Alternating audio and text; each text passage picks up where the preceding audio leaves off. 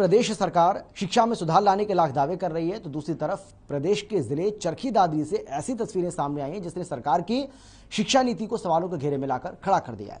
आखिर ऐसा क्या हुआ? ये रिपोर्ट देखिए।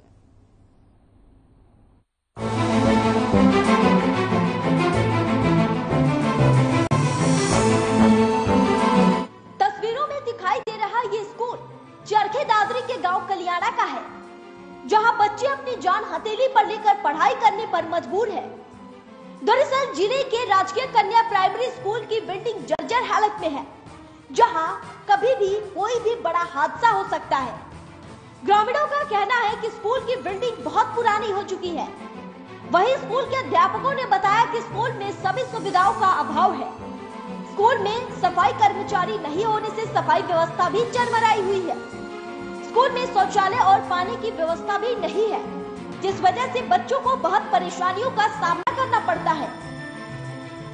यहाँ पर जो स्कूल है, वो बुरी तरह जंजर हो चुका है। बच्चों के लिए, बैठने के, खेलने के लिए, व कोई भी एक्टिविटी करने के लिए हमारे पास कोई जगह नहीं है। बच्चे बाथरूम के लिए बाहर जाते हैं और वहाँ पर भी बहुत ही कीड़े काटों का भय रहता है।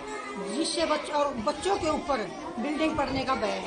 और न हम बच्चों को ढंग से बैठा पा रहे हैं और न इनको ढंग से खाना दे पा रहे हैं। और स्कूल के बाहर बहुत गंदगी है, न सफ़ाई कर्मचारी हमारा सहयोग करते हैं।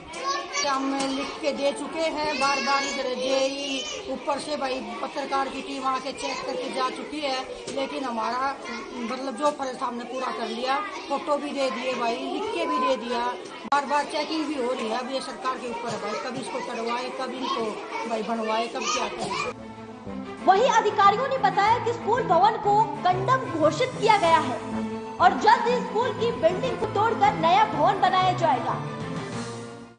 डी के द्वारा कंडम घोषित हो चुकी है और जल्द ही इसकी कमेटी बना के उसको डिमोलिशन करवा दिया जाएगा।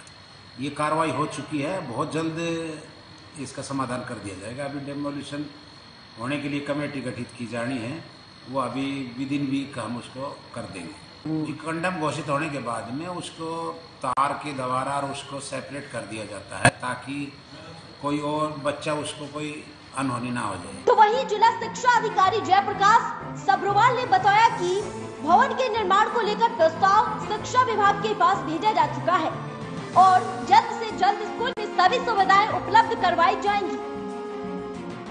ने आज ये स्कूल को विज़िट किया है तो यहाँ ये स्कूल की बिल्डिंग अनसेफ की करी गई है पीडब्ल्यू इंडा द्वारा। अब इस बिल्डिंग को तोड़वाने के लिए एक डिस्ट्रिक्ट लेवल की कमेटी बनेगी। उस डिस्ट्रिक्ट लेवल कमेटी में डिसाइड होगा कि इसकी कब बोली लगाई जाएगी तो उसमें हम अखबार में निकलवाएँगे। उसके बाद ही इस बोलीदाता आएँगे और उस बिल्डिंग को तोड़ने की प्रक्रिया की जाएगी। तो जल्दी जल्दी हम इस बिल्डिंग को तोड़वाने की कोशिश कर रहे हैं। इसके लिए हमने अभी पीछे डिमांड भेजी हुई है, यहाँ पानी की टंकी की और टॉयलेट की। एक टॉयलेट अंदर बनाया हुआ है, वैसे बच्चों के इमरजेंसी के लिए दो टॉयलेट इधर बने हुए हैं। लेकिन अभी सबसे पहले प्रोसेस हमारा बिल्डिंग तोड़वाने का, उसके बाद जो स्पेस निकलेगा, इसमें हम पानी टंकी बनवाएँगे टॉयलेट बनवाएँगे बच्चों के लिए, जो कमियाँ हैं, वो सारी पूरी करेंगे हालाँकि अधिकारियों का कहना है कि उन्हें शिकायत मिल चुकी है। कि वे इस पर जल्द से जल्द कार्रवाई करेंगे। लेकिन अब देखना यह होगा कि प्रशासन इस मामले में कब तक सख्त रूप अपनाता है। कहीं ऐसा ना हो कि मामले में संज्ञान लेने से पहले कोई बड़ी अनहोनी ना हो जाए।